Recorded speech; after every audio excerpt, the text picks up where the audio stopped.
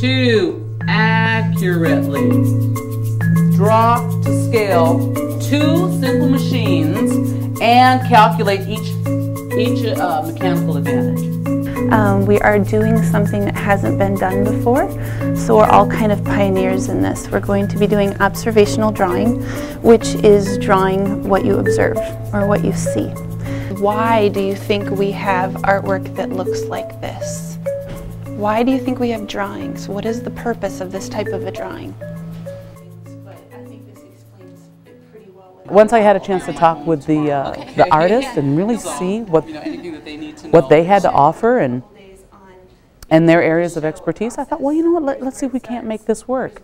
Let's see if we can't uh, adapt this to more of a physical science uh, type of a thing. I know things had been done in biology, which has been, which, you know, was wonderful. But um, can this work for physics? Can this work for chemistry? I'm going to start you and begin. I should hear pencils. Remember, this is about scribbling. Take the first 10 seconds to get this down onto your page.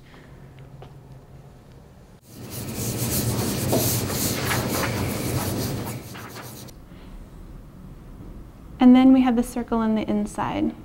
And you continue to break it down and break it down and then put more detail in there. That's what we're going to work the on The class today. I'm taking is Honor Science and um, it's for advanced ninth graders. And I'm in the class, uh, and I like it so far. Completely present when you do this. And then we had started a drawing class, and um, when we started, I felt a little overwhelmed because I was like, "Oh goodness, I cannot draw at all." So this is going to be interesting uh, how my drawing looks like. But um, I learned a lot of stuff from it. Um, I learned how to draw a simple machine accurately, very accurately with the points and the edges. And I was actually pretty proud of myself when I turned my, my, my picture in. It was nice. It was nice.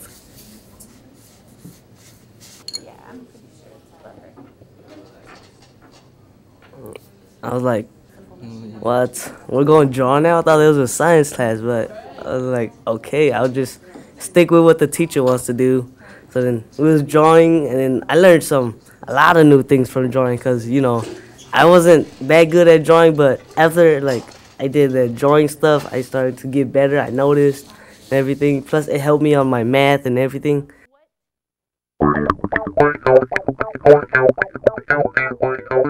Um, we are going to start some of your final drawings today, and Ms. Rasmussen has put out simple machines on the labs back there.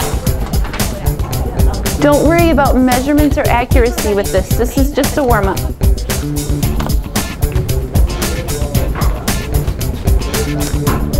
You have 20 seconds left.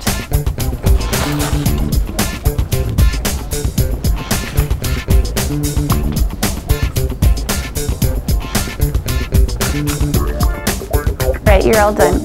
Great job, those look really good. The proper size. Um, the drawing helped me um, see it in a more complex way than it originally was when I, I first looked at some Machines.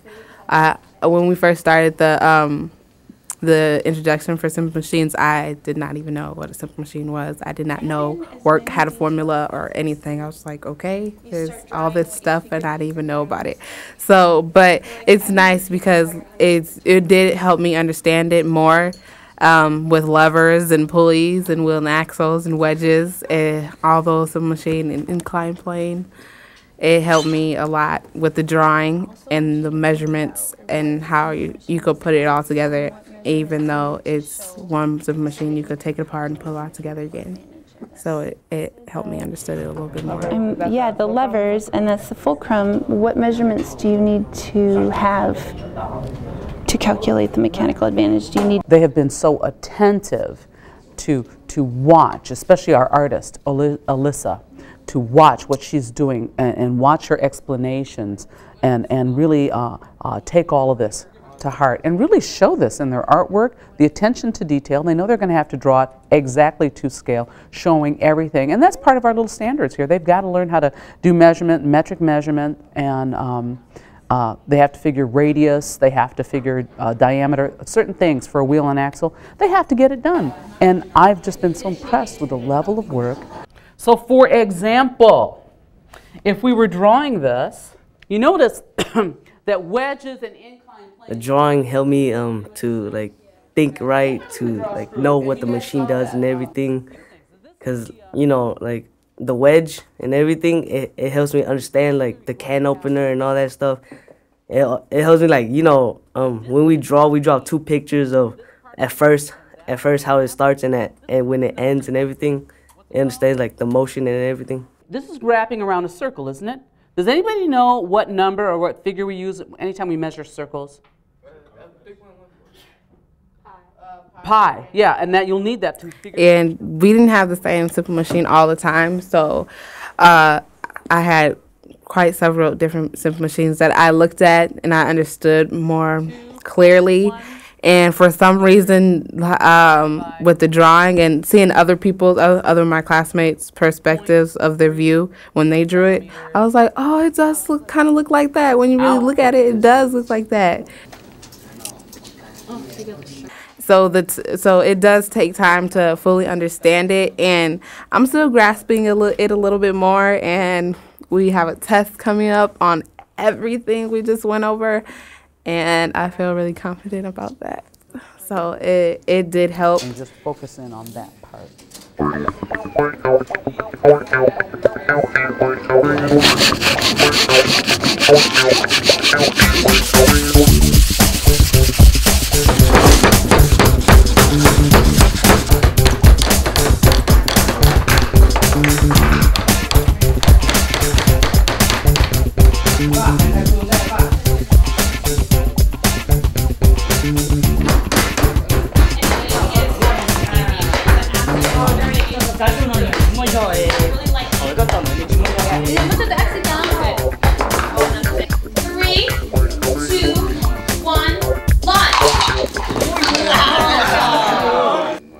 I think I'll be able to use drawing later in some other classes, but one of the main classes I think will be math because math and science are so alike in many different areas, and math it, it it's com- it's challenging me too right now. Math and science are my main class that's really putting me you know to the test, and I think that the drawing part will actually help me a little bit more with math.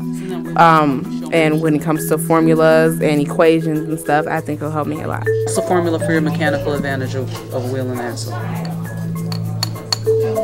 Oh, yes, you do. Okay. So copy Mm-hmm. That needs to be on there. Okay, and then your measurements. Your measurements, you got to measure it, so you'll have to know exactly, because you need to know the radius of your wheel. Okay, so you need to measure that, and it needs to be exact, because those are the numbers you're going to plug in.